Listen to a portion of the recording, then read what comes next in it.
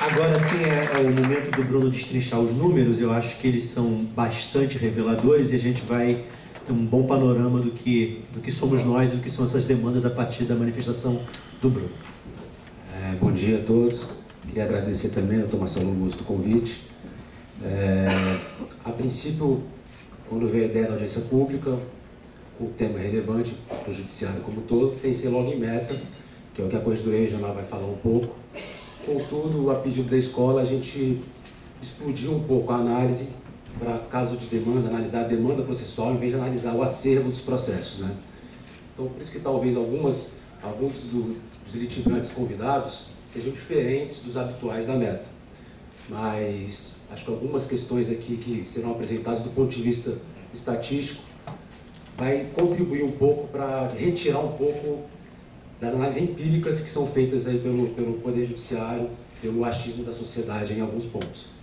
É, vamos lá, vamos começar aqui então um pouquinho rapidamente. O tema é importante no Judiciário, tem resolução do CNJ, do CSJT, do TRTRJ, estabelecendo como macro desafio estratégico, como objetivo estratégico do Poder Judiciário, da Justiça do Trabalho e da, do próprio Tribunal do período 2015-2020 então, desde 2014 já se mapeou o problema como estratégico para o Poder Judiciário como um todo. Né? E por que, que isso foi definido à época como estratégico, a gente vai talvez destrinchar aqui um pouquinho. É, aqui são a fonte dos dados, de onde os dados que apresentados aqui foram é, puxados, tá? Uma boa parte saiu do dado de gestão da Corregedoria Geral de Trabalho, em relação processual, uma a uma mesmo, é, combinado com tabela processual unificada para trazer os assuntos e as classes dos processos que estão ali dentro. É, complemento de tabela processual do TST, banco de dados do PJE e banco de dados do, do SAP Web, Sistema de Processo Físico. Então, toda a informação que está apresentada aqui é baseada em, em cadastro de processo.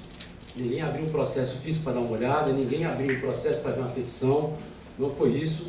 É dado cadastrado no sistema tá? que vai ser apresentado. Então, essa aqui é uma primeira informação importante. Isso aqui é os casos novos do tribunal, é, considerando primeira instância e as ações originárias na segunda instância. Tá? É, o triênio 2015-17, então o dado está ali, é o cômputo total dos últimos três anos, dado fechado. Por óbvio que aqui ainda não tem impacto da reforma trabalhista, talvez seja um tema para aprofundar daqui a um, dois anos, porque ainda é muito. É, seria é, errado da minha parte fazer uma especulação nesse momento sobre queda ou, aumento de demanda. Tá, o momento ainda não é oportuno para isso.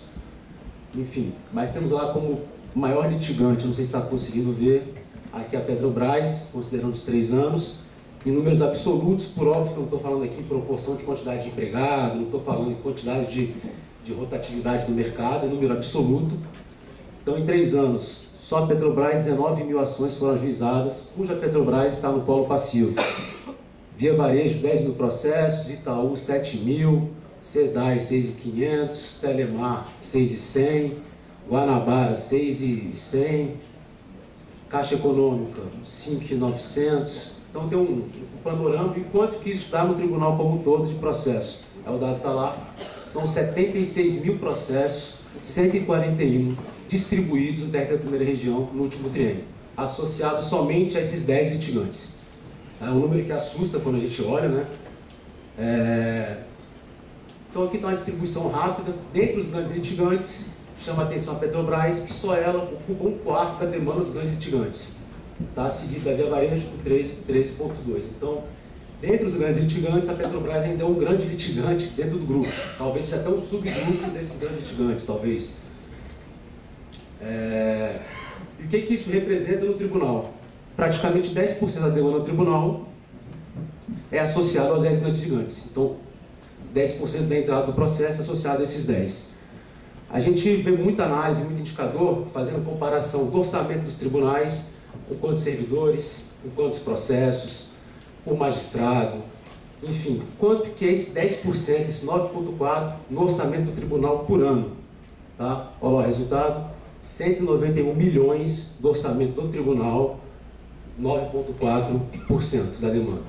É um número também que assustou muito quando a gente pegou, trazendo só para orçamento vinculado a pessoal, pagamento de pessoal ativo, magistrado e servidor, 125 milhões, tirando toda a questão de infraestrutura, de papel, de sistema, de infraestrutura de TI, tudo, só pessoal. Tá? Então é um número que a gente assusta e, e por isso que o Poder Judiciário definiu como um estratégico, um ponto importante para o Poder Judiciário combater, né? É, gerir. Tá? Como é que está a situação desses processos que foram distribuídos no último ano? Tá? 28% até março desse ano estavam sem decisão ainda. Até março desse ano, 56% foram solucionados com exame de mérito e 16% sem exame de mérito. Então aqui a gente tem uma suspeita inicial realmente com relação à prevalência da procedência, procedência em parte ou improcedência, homologação de acordo, enfim, é, prevalecente aqui na, na, na, no cenário. Tá, trazendo agora, destrinchando aqueles dados, começando a abrir por litigante, quem é maior, quem é menor. Tá? A gente teve que juntar muita informação, mas aqui a gente só pincelou algumas coisas. Quem depois quiser o trabalho completo, a gente vai fazer um relatório formal, com todos os parâmetros, tudo, tá? depois eu vou disponibilizar isso. É... Então, os processos não solucionados. O Itaú chamou muita atenção porque 40% dos processos que foram distribuídos no último triênio, até março de 2018, não estavam solucionados. Em contrapartida, os outros dois litigantes, os 10 litigantes, a Bequest e a Casa Guanabara, só 11% e 12% não estavam solucionados. Então, partindo do pressuposto que pô, é, tem uma, uma, uma, distribuição aleatória, que todos os processos entram na fila de pauta, de solução, de forma teoricamente homogênea, por que, que esse dado está tá, tá surtindo? Né? Por que está gerando esse dado tão diferente entre os grandes litigantes? Então, a gente começou a buscar informação complementar para refinar a análise. A gente começou analisando os assuntos processuais, o tipo de solução dado aos processos e tentou depois cruzar tipo de solução com assuntos. Tá? É o que eu vou explodir agora aqui para o grande litigante. Então, é, isso aqui é a quantidade média de assuntos cadastrados nos processos. A gente sabe que tem um problema de cadastro de assunto, que não é um dado tão fidedigno, mas é o que está no sistema cadastrado pelas próprias partes. Tá? Então, olha lá, o Itaú é o terceiro maior litigante, porém os processos que têm maior quantidade de assuntos em média, 8.3. Então, talvez multiplicando lá aqueles 10 mil processos por 8 assuntos, na verdade são 8, 80 mil pedidos que tem que ser apreciado no 1. Né? Então, quando você cruza assunto com demanda, explode muito a necessidade de solução. A linha vermelha é a média do tribunal como um todo. Tá? São 5.2 assuntos em média do tribunal como um todo. Então a gente pode reparar o quê? Que os grandes litigantes maior parte está acima da média. Então, além de ter muita demanda processual, tem muito assunto cadastrado nos processos. Né? Então, impacta, por óbvio, a, a estrutura interna da instituição. Por outro lado, tem a SEDAI, 2,8 só, muito abaixo da, da, da, média geral, talvez por ser matéria de fato, e as questões, é, as inferências é, mais do direito não me compete, não tenho expertise para tal. Né? Aqui, não sei se vai dar para ler lá, eu tentei condensar a informação. O que, que eu separei aqui? São os assuntos cadastrados no, no, nos processos sobre os grandes pais de assunto da tabela do CNJ, desagregando as demandas dos processos por parte. A gente vê uma distribuição bastante homogênea de forma geral. O que, que chama muita atenção aqui nesse dado, que todo o restante? As casas Guanabara, e a Bequest tem, a Bequest principalmente, 53% da demanda é associada à rescisão de contrato trabalhista. As casas da Guanabara, 43% da demanda é associada à é, rescisão de contrato trabalhista. Na Petrobras o cenário também é de 37%. E o outro dado distante aqui é a SEDAI, é, que é remuneração de verba, indenização e benefícios. Tá? Um assunto de 37,4% cadastrado no sistema. O restante vai meio que de forma homogênea, dado cadastrado no sistema, novamente volto a falar. É...